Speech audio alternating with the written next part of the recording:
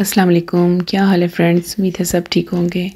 आप सबको मेरे गार्डन चैनल पर खुश आमदीद। देखिए फ्रेंड्स ये वो प्लांट्स हैं जो बहुत इजी टू ग्रो प्लांट है। एक बार लगाओ और कई बार, कई प्लांट आपके घर में बन जाते हैं। बिल्कुल आसानी से आपका गार्डन भर जाता है इन प्लांट से। आज मैं वो आप प्लांट आपको दिखाऊँगी। तो ये देखिए, सबसे पहले तो है ये टर्टल वाइन ये इतनी आसान है ग्रो करनी, बहुत ही ज़्यादा।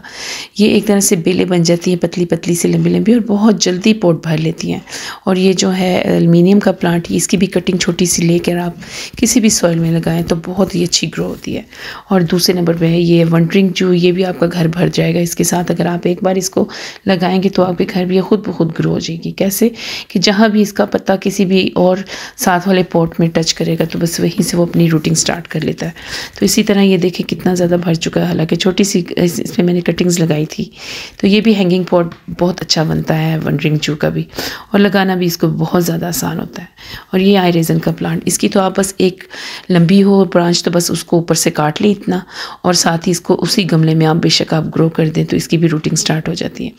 सिर्फ़ एक दो दिन आपको लगेगा जैसे कि इसके पत्ते थोड़े से नरम हो गए हैं, बस फिर बाद में इसके स्टैंड हो जाते हैं। और ये देखें, ये है सिंगोनियम का प्लांट ये पिंक सिंगोनियम है। तो ये देखें, इसकी रूटिंग तो जगह जगह से खुद ब खुद निकली होती है। तो आप यहाँ से एक ब्रांच लें और इसको किसी भी सॉइल में लगा दें तो ये भी बहुत अच्छी ग्रो हो जाती है। और ये है कोलियस कोलियस की तो हर वक्त आपको कटिंग अपने गार्डन में लगाते रहना चाहिए क्योंकि ये कुछ अरसे के बाद प्लांट मर जाता है। तो इसकी कटिंग अगर आप लगाते रहेंगे अपने गार्डन में तो बहुत ईजी टू ग्रो प्लांट है ये वाला भी।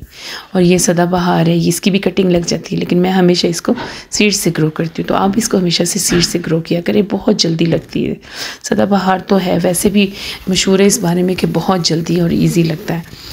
और ये है जेट का प्लांट जेट के प्लांट भी लगाने बहुत आसान है। छोटी सी छोटी कटिंग भी इसकी लग जाती है बहुत आराम से। इतनी सी आप कटिंग लें, इसकी दो इंच की या तीन इंच की, नीचे की लीव्स हटा लें और कोकोपीट में आप इसको लगा दें। कोकोपीट में जेट प्लांट बहुत अच्छा ग्रो करता है। और ये फुल धूप में रखने वाला प्लांट है। फुल फुल धूप में अगर आप इसे रखेंगे तो बहुत ही अच्छा ग्रो करता है। और ये एक प्लांट ये स्पाइडर प्लांट स्पाइडर प्लांट भी बहुत अच्छा ग्रो करता है। अगर आप इसको एक बार लगाएँ तो इसको भी आप बहुत ज़्यादा बढ़ा सकते हैं। इसके अंदर रनर्स आते हैं और वो छोटे छोटे से स्पाइडर प्लांट के बेबीज़ होते हैं। और ये है क्लंचू। क्लंचू के भी आप कटिंग लगाएँ इतनी सी सिर्फ़ तो आपके घर ग्रो कर जाएगी। और ये भी बहुत जल्दी ग्रो होता है। इसकी भी कटिंग हंड्रेड परसेंट लग जाती है। तो ये सारे प्लांट्स वो हैं जो एक बार आप अपने घर में लगाएँ तो आप हज़ारों प्लांट इससे बना सकते हैं। देखिए, ये है स्पाइडर प्लांट के बेबीज़ इनके नीचे इनकी रूटीन्स आई होती है हमेशा। अक्सर इसको बस इस तरह आप सॉइल के ऊपर लगाएँ और ये ग्रो हो जाते हैं। और आप स्पाइडर प्लांट को हमेशा इस तरह की बॉटल्स में ग्रो करें, जो लंबाई में हो, यानी गहराई में हो, ताकि इनकी अच्छी सी जड़ें इनके अंदर ग्रो करें और ऊपर से अच्छी हेल्थ बने इनकी। और ये दिखाती हूँ मैं आपको कि मेरे कुछ प्लांट्स जो हैं स्पाइडर प्लांट के, वो बहुत ही अच्छी ग्रो कर रहे हैं, क्योंकि उनको इस बोटल में मैंने ग्रो किया हुआ है। और इस बोतल में ग्रो करने की वजह से ही वो बहुत अच्छी बेबीज़ और ये वाले रनर्स देते हैं।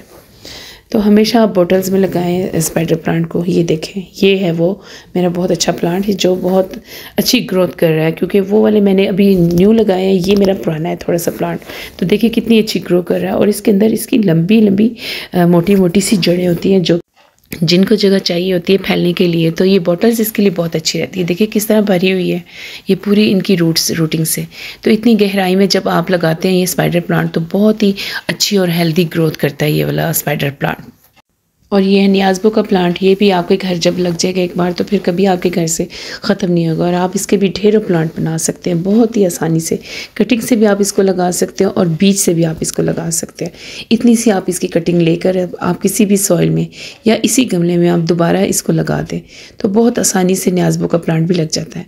और सीड से भी बहुत आसानी से लग जाता है ये वाला प्लांट तो ये भी आपके घर भर जाता है, जब आप एक बार लगाएँ, बेशक आप इसके प्लांट बनाएँ और लोगों को गिफ्ट करें। और ये देखें, ये है स्नैक प्लांट स्नैक प्लांट भी बहुत ईजी टू ग्रो प्लांट है. ये भी परमानेंट प्लांट है. इसको आप कटिंग से भी ग्रो कर सकते हैं और इसकी कटिंग आप पानी में लगा के भी इसकी रूटिंग स्टार्ट कर सकते हैं. तो मैं तो हमेशा इसकी बस ऊपर से थोड़ी सी ब्रांच लेती हूँ और इस तरह इसी सॉइल में लगा देती हूँ. ऊपर से आप इसकी तीन इंच की ब्रांच काटें और इसको इसी सॉइल में आप लगा दें।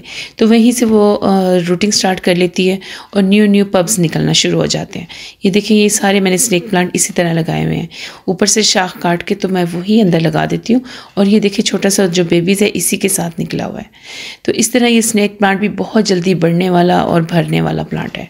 और बाकी है, ये वाला एक, ये जो मनी प्लांट हमारे घर का माशाल्लाह फेवरेट प्लांट है। हर किसी के घर का ये फेवरेट प्लांट होता है तो बहुत ईजी टू ग्रो प्लांट होता है। इसको पत्ते की मदद से भी आप लगा सकते हैं। आप हर पत्ते के साथ जो ये रूट होती है, यहाँ से काट लें और पत्ते के साथ भी आप इसको लगा सकते हैं।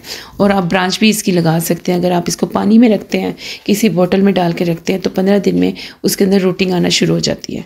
फिर फिर आप उसको कहीं भी, किसी भी जगह पर, किसी भी पोर्ट में हैंगिंग पोर्ट में, किसी भी इंडोर प्लांट में, कि, यानी पोर्ट में, किसी भी जगह पर आप फिर उसको किसी सॉइल में भी लगा सकते हैं।